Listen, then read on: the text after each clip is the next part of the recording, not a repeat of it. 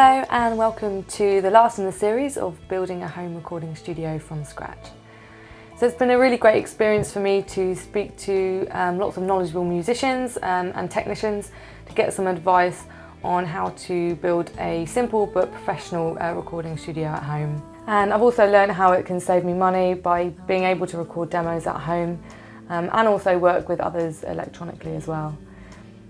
So today I will let you in on a bit of my EP recording process and show you how these skills have um, started to come in handy.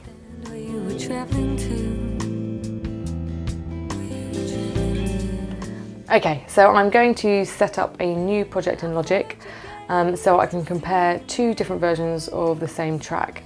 Basically, I got two different producers to uh, do their own version of the same song, so now I'm going to use Logic to compare the two and give some feedback as to what I like best about them. Okay, so I'm opening my empty project.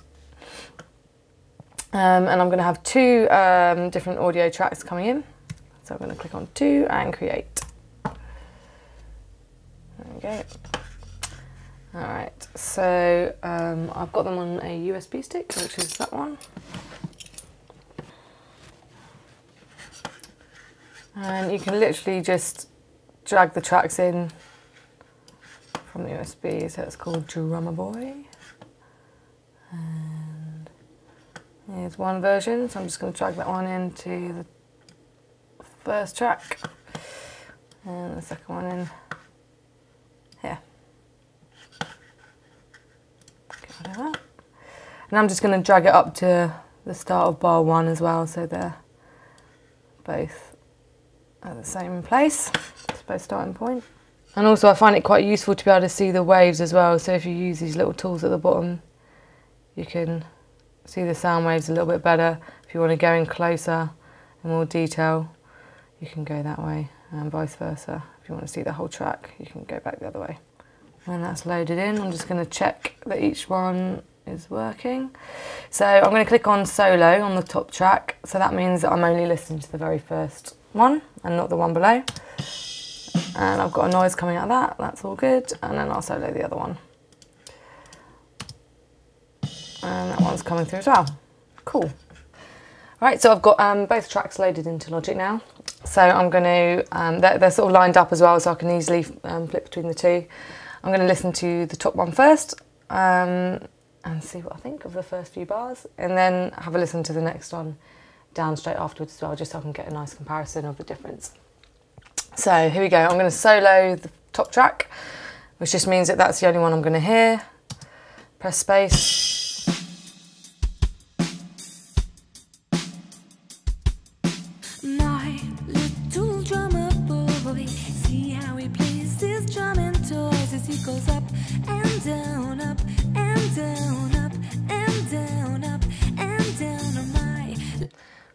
All right, so that's our first one. There's a little bit of reverb in there, it's quite a nice sound. So let's have a comparison of the second one, see if it's much different.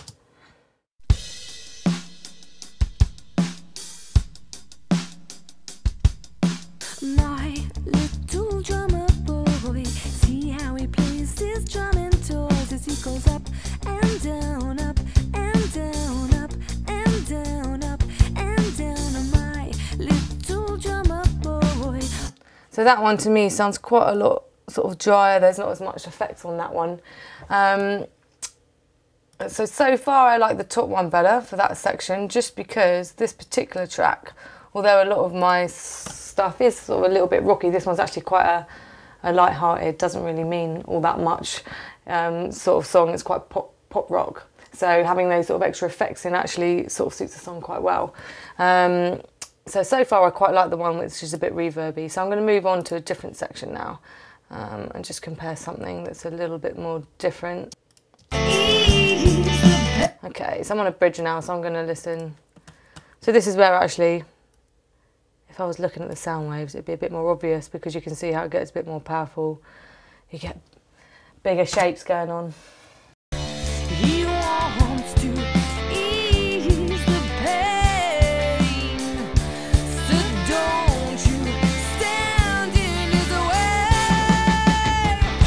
Okay, so I'm going to then solo the top one and have a listen to the same bit.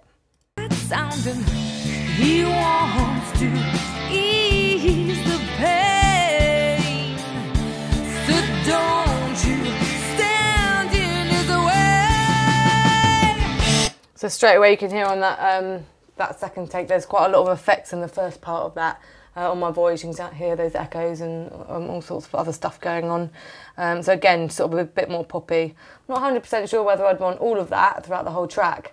Um, but yeah, but there's certainly some bits in there that work quite well. So I'm going to skip along to the chorus now, which is coming up on that version.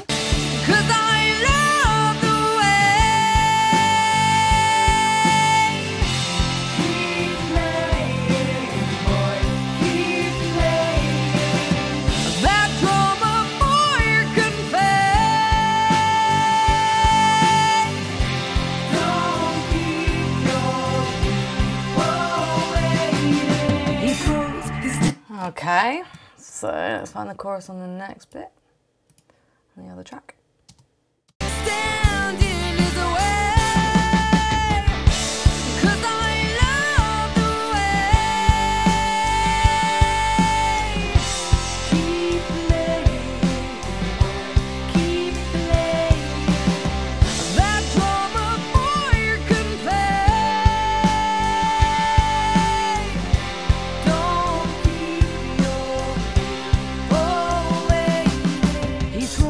Yeah, so again, that you know that other version is a little bit drier sounding. Also, I think the vocals, the lead vocals, are a little bit quieter in that one as well. They seem to cut through a bit more in the other one.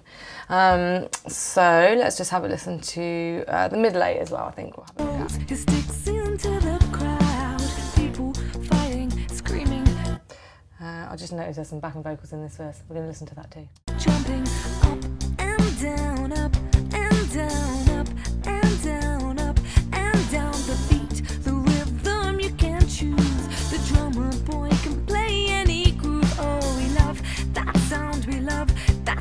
We love that sound, we love that sound. And Cool, yeah, so we've got a level on the backing vocals on that one, and then there's a bit of an effect coming in as well um, as we go to the end. So let's see what the uh, top one's like.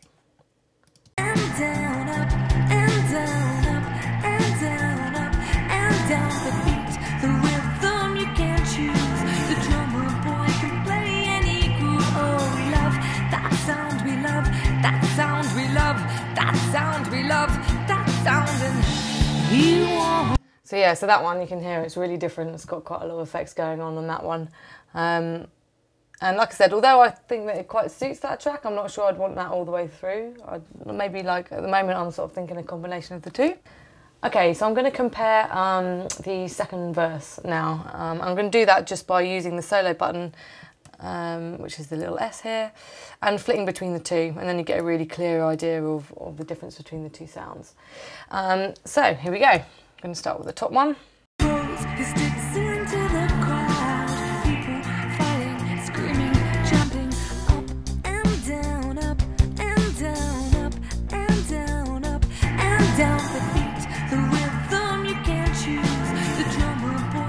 So straight away you can hear that the uh, top one seems a much fuller sound. The second one is just a little bit drier in general as well. Um, so I think it'd probably be somewhere in the middle for me is where I'm thinking. I'm going to skip along to the uh, eight section because there's like a really big note in that. Um, so I'm quite interested to hear what they've done with it. So let's move along. I think that's around bar 80. Yeah, so let's go from about here. One.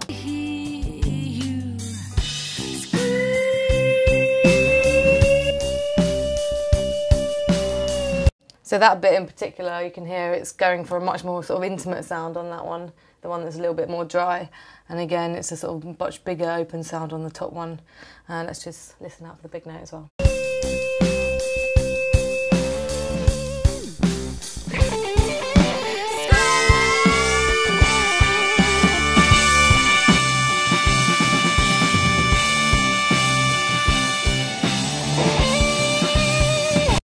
Yeah, so both of them have done, gone for quite a big sound, but again, the top one is just that little bit bigger uh, sound-wise on the um, on the top one.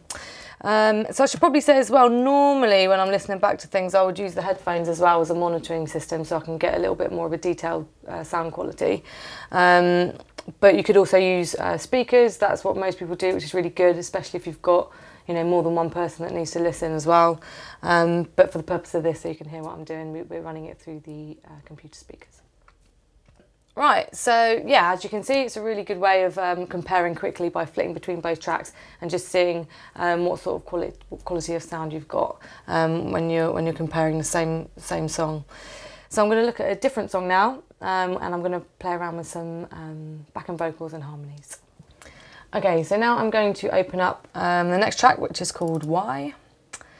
And um, for this one, there's going to be a lot more um, tracks coming in because I've got all the stems, which is basically all of the different instruments um, that we've done uh, to compose the track, um, are all on separate tracks so that then I can listen to them all separately um, and also add my own uh, backing vocals and harmonies in there as well when I'm playing around with ideas.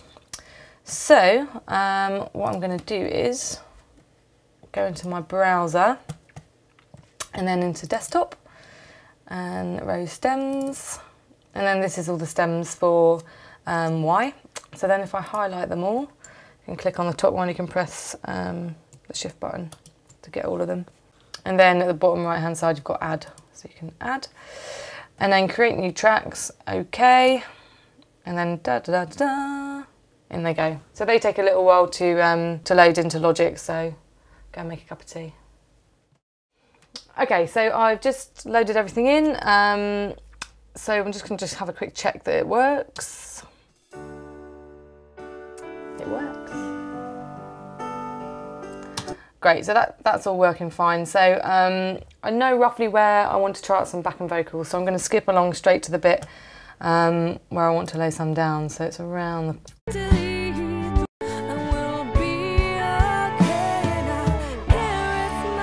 so it's about there. So what I'm going to do is give myself uh, a bit of a lead in. Um, and I'm also going to create a separate track. So you can do that just by double clicking below the one before. And then you've got another audio track in there. Um, so then, yeah, so that should give me enough time before I want to start my first vocal.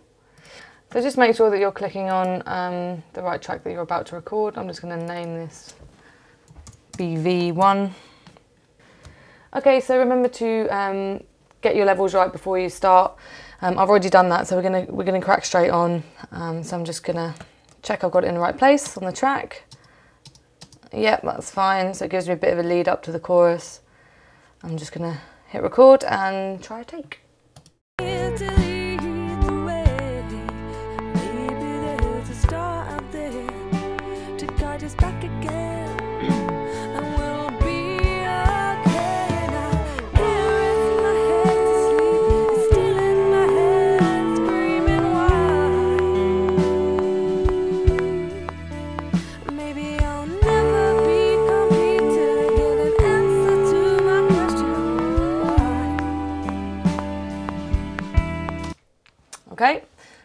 My first one.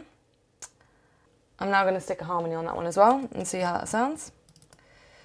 So I've just created a new track, so I'm going to do um, a harmony above what I've just done, uh, just to create a little bit more depth um, in this second chorus. So um, I've on my track with an R, and then you can press R as a shortcut to record. So let's go for it again.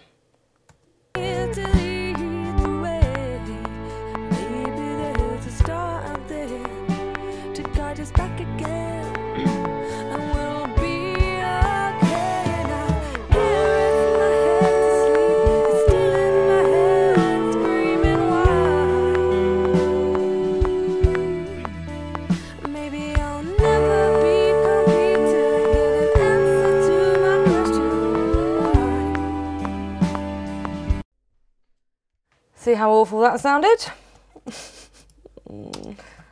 So I'm going to solo this as well, just so I can listen to what I've just done.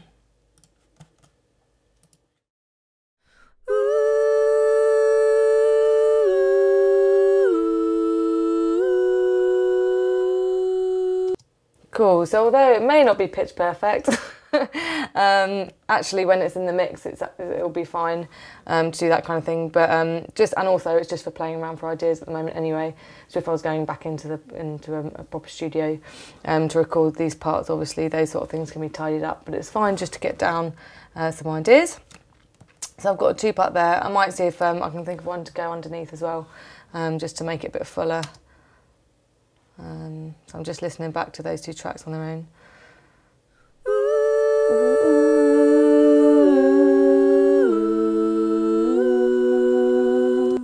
Okay, so I could put another one underneath there as well.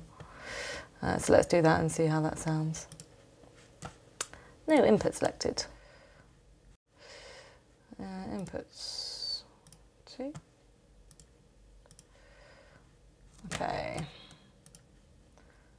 Let's try that.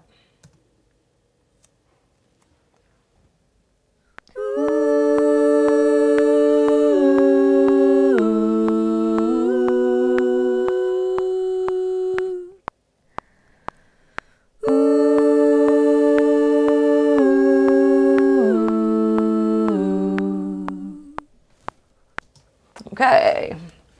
So I'm just going to have a quick listen back to those three harmonies and just check that they have the right effect.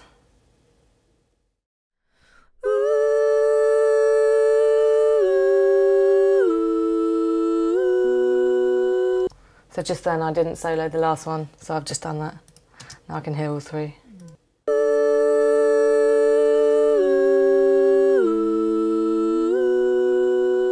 Yeah, so I'm just going to bring the level of that low one up a bit because it doesn't cut through quite as much as the others. So that's on eight. Just bring that up a little bit.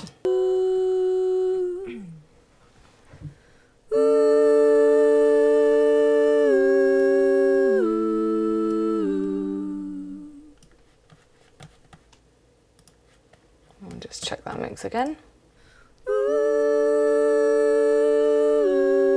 So it's not perfect, but that's it gives me a better idea of whether it's sounding right. Um, cool, so now I'm just going to check it with the rest of the track and see how that sounds in context. So I'm going to unsolo those three and just go back and listen to that section. Maybe there's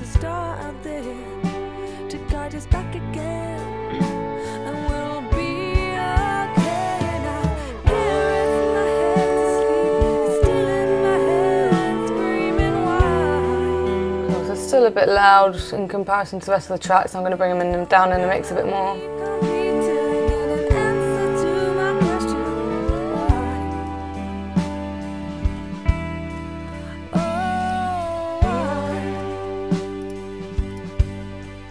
Check that one more time.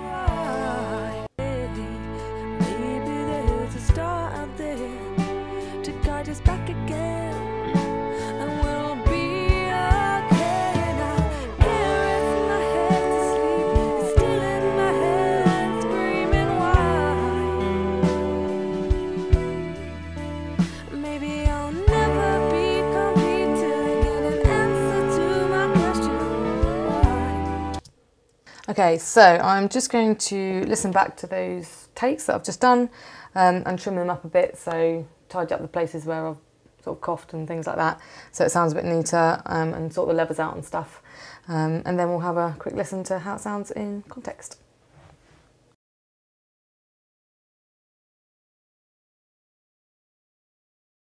Right, so I'm going to go through the rest of the track now and lay down some other ideas I've got for backing vocals.